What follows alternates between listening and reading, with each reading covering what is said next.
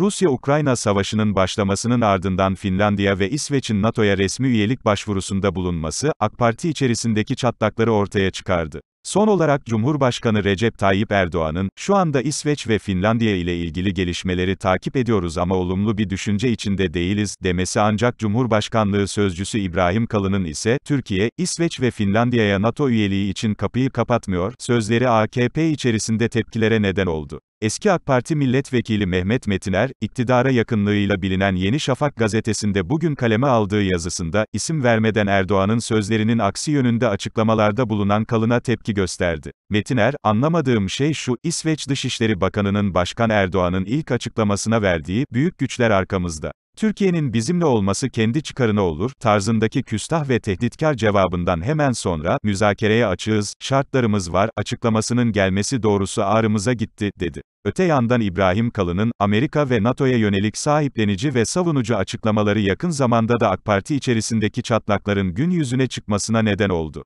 AKP'nin Amerika ve NATO çelişkisi, üst düzey bürokratların ve bakanların açıklamalarına sık sık yansıdı. İlk olarak Rusya'nın Ukrayna'yı işgal etmesi üzerine, Türkiye denge siyaseti izlemeye yönelik hamleler yaparken, İbrahim Kalın, bir ülkenin işgal edilmesi haklı ve meşru değil, açıklamasında bulundu. Ayrıca, Milli Savunma Bakanı Hulusi Akar da Rusya'nın karşısında bulunan NATO'ya desteklerini dile getirdi. Akar, Türkiye, Balkanlardan Orta Doğu'ya, Afganistan'a ve Kafkaslardan Afrika'ya ve ötesine kadar NATO'nun aktif ve yapıcı bir üyesi olmaya devam edecektir, dedi. Kalın ve Akar, Rusya-Ukrayna savaşında NATO ve Amerika yanında yer aldıklarına yönelik açıklamalarda bulunurken, AKP'nin önde gelen isimleri karşıt çıkışlar yapmaya başladı. Türkiye, başta Hulusi Akar ve İbrahim Kalın olmak üzere çeşitli açıklamalarla NATO ile arasındaki bağı korumaya çalışırken İçişleri Bakanı Süleyman Soylu, eğer biz Avrupa'ya veya Amerika'ya güvenseydik, eğer biz NATO'ya güvenmiş olsaydık, eğer biz dünyanın küresel kulüplerine güvenmiş olsaydık bugün Kuzey Irak'tan Afrin'e kadar terör koridorunu kurmuş olurlardı.